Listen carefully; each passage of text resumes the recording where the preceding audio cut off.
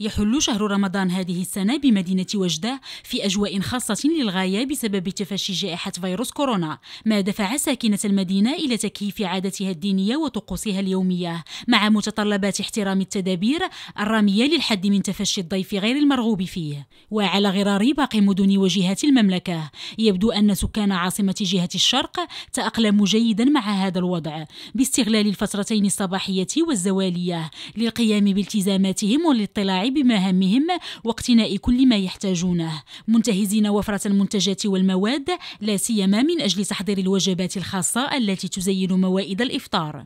هو الحمد لله يعني هذا الشهر المبارك يعرف واحد الإقبال ديال ديال الزبائن على الحلويات التقليدية اللي كتكون مختلفة و ومن ضمنها يعني بحال اللي كي اللي كيكون عليها إقبال كثير بحال المقروط اللي معروف به الجهة الشرقية والجهة يعني وجدة خصوصا.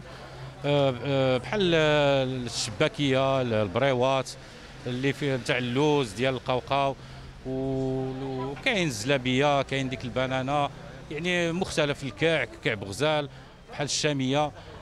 كيكون واحد الإقبال عليها في هذا في هذا الشهر المبارك. وفي ظل السياق الاستثنائي لجائحة كورونا تحرص السلطات المحلية والقوات العمومية بوجده بصرامة ودقة على احترام حظر التنقل الليلي والتدابير الاحترازية الرامية للحد من تفشي جائحة كوفيد 19 والحفاظ على أمن وصحة المواطنين.